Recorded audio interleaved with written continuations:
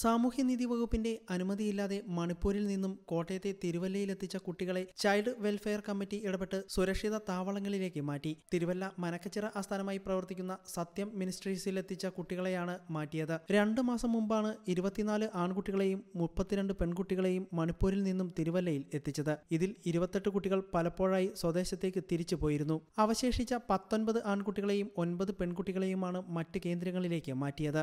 ആൺകുട്ടികളെ child welfare കമ്മിറ്റിയുടെ അധീനതയിൽ കൊല്ലത്തുള്ള boys ഹോമിലേക്കും പെൺകുട്ടികളെ തിരുവല്ലയിലെ മഞ്ഞാടി നിക്കോൾസൺ ഹയർ സെക്കൻഡറി സ്കൂളിലെ ഹോസ്റ്റലിലേക്കുമാണ് മാറ്റിയത്. രഹസ്യാന്വേഷണ വിഭാഗം ജില്ലാ പോലീസ് മേധാവിക്ക് നൽകിയ റിപ്പോർട്ടിനെ തുടർന്നാണ് ചൈൽഡ് വെൽഫെയർ കമ്മിറ്റി അംഗങ്ങൾ സത്യം മിനിസ്ട്രീസിന്റെ ഉടമസ്ഥതയിലുള്ള കുട്ടികളുടെ താമസ സ്ഥലത്ത് പരിശോധന നടത്തിയത്. ഇതേ തുടർന്നാണ് കുട്ടികളെ ഇവിടെ നിന്നും മാറ്റുന്ന നടപടിയുമായി ചൈൽഡ് വെൽഫെയർ കമ്മിറ്റി എത്തിയതെന്ന് ചൈൽഡ് വെൽഫെയർ കമ്മിറ്റി ജില്ലാ ചെയർമാൻ അഡ്വക്കേറ്റ് എൻ രാജീവ് പറഞ്ഞു.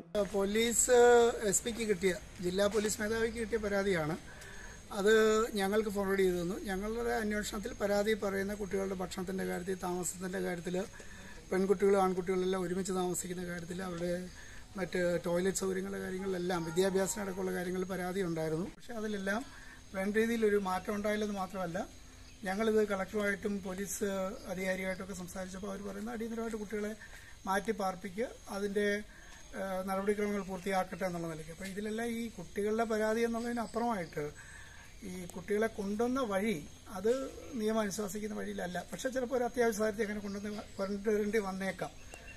പക്ഷെ അതിന് കാലതാമസം കൂടാതെ തന്നെ അതിനെ നിയമപരമാക്കണം. ഇപ്പൊ രണ്ട് രണ്ടര മാസമായിട്ട് ഇവിടെ നിൽക്കുമ്പോഴും അത്തരത്തിലൊരു സംഗതി ഉണ്ടായിട്ടില്ല. തിരുത്താൻ കൊടുത്ത അവസരത്തെ അവർ വേണ്ട രീതിയിൽ വിനിയോഗിച്ചില്ല എന്നൊരു പരാതി ഞങ്ങൾക്ക് നിൽക്കുന്നുണ്ട്. അപ്പോഴാണ് ബാലാവകാശ കമ്മീഷൻ സംസ്ഥാന ബാലാവകാശ കമ്മീഷന്റെ പരിശോധന ഉണ്ടാകുന്നത്. അപ്പോൾ ബാലാവകാശ കമ്മീഷനും ഈ പരാതികൾ ചിലത് ശരിയെന്ന് കണ്ടെത്തി ജില്ലാ ഓഫീസറുടെ പരിശോധന ജില്ലാ ശിശു ക്ഷേമ ശിശു സംരക്ഷണ ഓഫീസറുടെ പരിശോധന ഒക്കെ വന്നപ്പോഴും ഇതിലുള്ള കുറവുകൾ കണ്ടെത്തി തിരുത്താനുള്ള സമയം കൊടുത്തിട്ടും ഉണ്ടായില്ല. എന്നാൽ ഈ കുട്ടികളെ മാറ്റുന്നതുമായി ബന്ധിപ്പിച്ചുള്ള നടപടികൾക്കായിട്ട് ഇന്നലെ വരുമ്പോഴാണ് അറിയുന്നത്. ഞങ്ങളുടെ ആദ്യ പരിശോധനയിൽ കണ്ട കുട്ടികളുടെ എണ്ണം കുട്ടികൾ ഇപ്പോൾ ഇല്ല.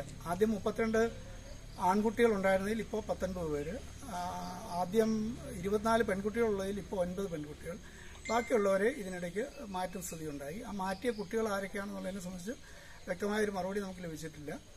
അതിൽ ചിലരെങ്കിലും ഞങ്ങൾക്ക് ആദ്യ പരിശോധനയിൽ സ്റ്റേറ്റ്മെന്റ് തന്ന കുട്ടികളാണ്. അതുകൊണ്ട് തന്നെ അവരുമായി ബന്ധിപ്പിച്ച് തന്ന സ്റ്റേറ്റ്മെന്റിൽ കൂടിയൊരു പരിശോധനയ്ക്ക് അന്വേഷണത്തിനുമായിട്ട് സാധ്യമാകാത്തൊരു സ്ഥിതി ഇപ്പോൾ ഉണ്ട്. എന്തായാലും ബാലാവസ്ഥ കമ്മീഷനുമായിട്ട് ചേർന്ന് നിന്നുകൊണ്ട് ഇപ്പോൾ അടിയന്തരമായി മാറ്റണം എന്നുള്ള പ്രോസസ്സിൽ ഇപ്പോൾ ചില തടസ്സങ്ങളൊക്കെ വന്നു. എന്തായാലും പോലീസോട് കൂടി ഇടപെട്ട് എന്നാൽ മണിപ്പൂരിലെ കുട്ടികളുടെ കഷ്ടതകൾ മനസ്സിലാക്കി അവരുടെ മാതാപിതാക്കളുടെ സമ്മതത്തോടുകൂടിയാണ് വിദ്യാഭ്യാസം നൽകുന്നതിനായി കുട്ടികളെ ഇവിടെ എത്തിച്ചതെന്നും ആ കുട്ടികളെയാണ് ഇപ്പോൾ സത്യം മിനിസ്ട്രീസിൽ കയറി അനധികൃതമായി കൂട്ടിക്കൊണ്ടുപോയതെന്നും സത്യം മിനിസ്ട്രി ചെയർമാൻ സി വി വാടവന പറഞ്ഞു.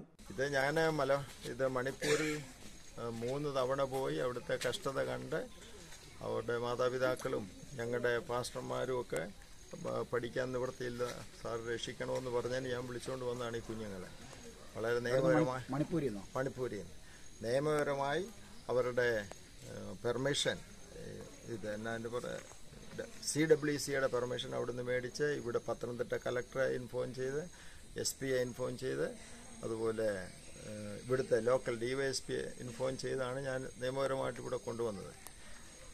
ഈ കഴിഞ്ഞ ദിവസം ഞാനിവിടെ ഇല്ലായിരുന്നു. ഗുജറാത്തിൽ പോയിരുന്ന സമയത്ത് ഡെപ്യൂട്ടി ഇതിന്റെ പോലീസ് സൂപ്രണ്ടിന്റെ അവിടെ നിന്നല്ല സി ഡബ്ല്യു സിയിൽ നിന്നൊരു കത്തുമായിട്ട് ഇദ്ദേഹം ഇവിടെ വന്നു. ഇവിടെ വന്നിട്ട് ഞാനില്ലായിരുന്നു. എന്റെ വൈഫും സ്റ്റാഫ് അംഗങ്ങളും ഒക്കെ ഉണ്ടായിരുന്നു. അവരെ വളരെ പേടിപ്പിച്ച് ഇതിനകത്ത് കയറി അനുവാദമില്ലാതെ അകത്ത് കയറി കുഞ്ഞുങ്ങളുടെ കയ്യിൽ നിന്ന് വീഡിയോ എടുക്കുകയും അതൊക്കെ ചെയ്യുകയും അവരുടെ ഡ്രൈവർമാർ വരെ മറ്റു കാര്യങ്ങളിൽ ഏർപ്പെടുകയൊക്കെ ചെയ്ത് ഏത് രാഷ്ട്രീയ പാർട്ടിയാണെന്ന് എന്റെ അറിയത്തില്ല. ആരോ ശരിക്കും ഇടപെട്ടാണ് ഇപ്പം. ഇന്നിപ്പം തേണ്ട അഞ്ചരയ്ക്ക് കൊണ്ടെത്തുന്ന കത്താണ്. അഞ്ചര മണിയാകുമ്പം ഞാനിവിടെ ഓഫീസിൽ ആശുപത്രിയിലായിരുന്നു. അവിടുന്ന് എന്റെ മോനെ ആശുപത്രിയിലാക്കിയിട്ട് പെട്ടെന്ന് ഇവിടെ വന്നപ്പോൾ എന്റെ കയ്യിൽ കൊണ്ടുതന്ന കത്താണിത്. ഇത് നേരത്തെ പോലും അറിയിക്കാതെ ഞാൻ ഓമനിച്ച് എന്റെ ഭാര്യയും ഈ സ്റ്റാഫ് അംഗങ്ങളുമൊക്കെ ഓമനിച്ച് വളർത്തിയ കുഞ്ഞുങ്ങളെയാണ് അവർ ബലമായിട്ട് പിടിച്ചുകൊണ്ട് പോകുന്നത്. News desk you talk.